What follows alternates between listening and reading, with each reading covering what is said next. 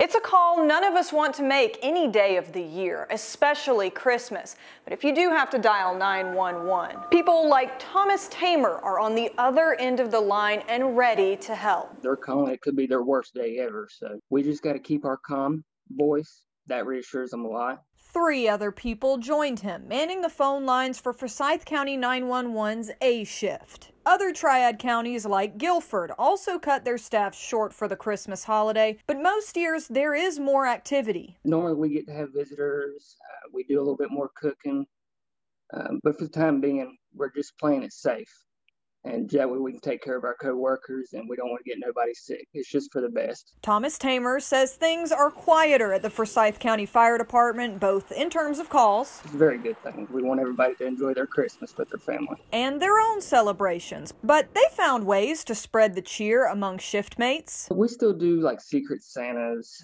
Um, we tend to try to keep a Christmas movie on and our little TVs in the room. All while at any moment they could get a call from someone who needs help. We're there for the citizens.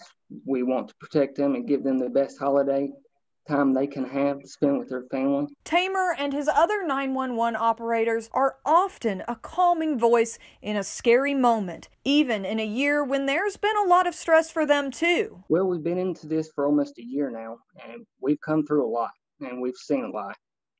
They always say it gets worse before it gets better, and we hope that the last couple months has been that worst part. So I asked him for some of those calm words, as many of us have a very different Christmas. Enjoy it. It's the only one we're going to have this year. Hopefully, the next one will be better. Spend time with your family, talk to them, have a smile on your face, and we'll get through it. Grace Holland, WFMY News 2.